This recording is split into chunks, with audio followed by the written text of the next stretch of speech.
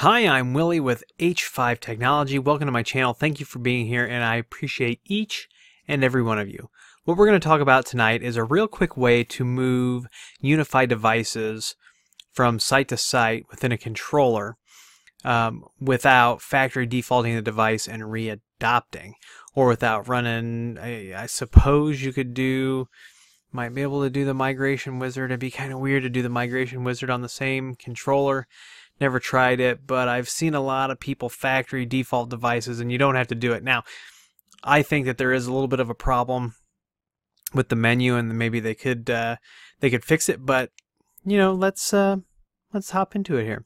So we've got our UniFi 5.9.24. Now this is the beta controller, but uh, this process is going to work the same whether you're in the beta controller or whether you are in a controller all the way to the you know back to the 5.6 early 5.6 uh, release. So you can follow along with this. So let's log into our beta controller here.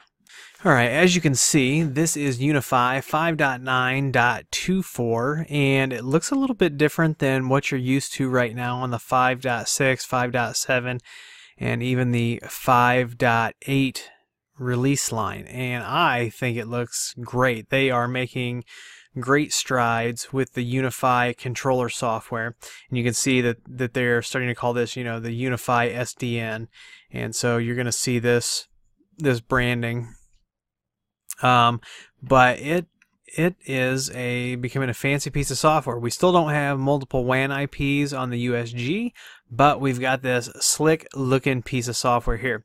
So right now we are on the Willie House site, and if we go over to devices, we can see we've got a switch and two APs. But if you remember right, we set up the PIA only.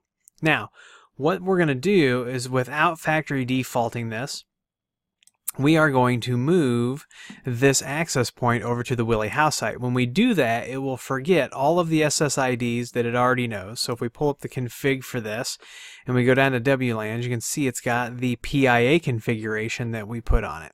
When we move this, it's going to get rid of the PIA configuration and it is going to take up the configuration from whichever site it gets adopted into. And we are going to move this over to Willie How. Now the easy way to do this is to go down to Manage Device, and down here where you would normally forget the device, there's actually an option, and I think this should actually be on its own section because I think this is a little bit confusing. So we're going to drop this down. We're going to select Willie How. It's going to come up. It's going to warn us about that, the reconfiguration of the access point. We're going to hit confirm.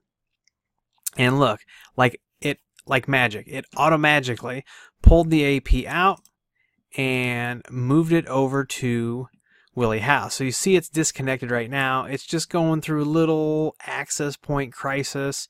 It's not like a midlife crisis. It's just an access point crisis. And now you can see it's provisioning. And when it is done provisioning, it will have the FBI van and the disabled kids SSID. So that's it. No need to break out the paperclip. No need to do anything crazy. No need to factory default. If you need to move, you know, from site to site, and this is common. So I keep hardware here, and if somebody's in an emergency and they need it, uh, I can uh, simply take it.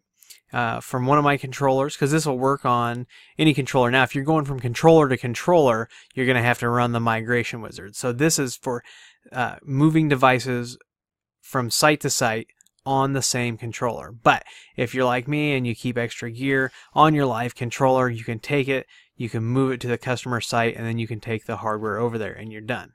So that's it. It's really that simple. Go ahead and play around with that. If you like this video, please give me a thumbs up. Please subscribe. Please comment and share. Please follow me on Twitter and Instagram. Don't forget that the uh, H5 merchandise is now available. The link's down there and 50% of all merchandise proceeds do go to charity. If you need IT consulting for voice over IP, security, networking, programming, all that good stuff, we can help you out. And if we can't, can't, we'll get you to somebody who can. You can go to h5llc.com down there, fill out the contact form, and somebody will contact you as soon as possible. If you want to talk to us live on Discord, the link's down there. Come on over, say hi. If you want to purchase any of the gear you see here on the channel, we do have that Amazon link down below. Once again, I do appreciate each and every one of you, and I'll see you in the next video.